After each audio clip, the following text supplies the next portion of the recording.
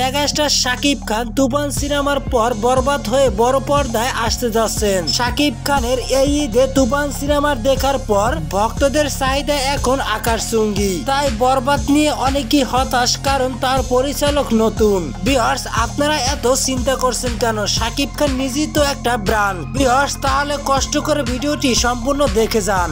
আপনাদের একটা কথা মনে করে দিই। শাকিব খান বর্তমানে নতুনদের সাথে কাজ করতে স্বাচ্ছন্দ্য বোধ করেন। শাকিব খান যেহেতু মেহেদি হাসান হৃদয়ের উপরে ভরসা রেখেছেন, তাই আমাদেরও উচিত তার উপরে ভরসা রাখা। আশা করি কেউ নিরাশ হবেন না।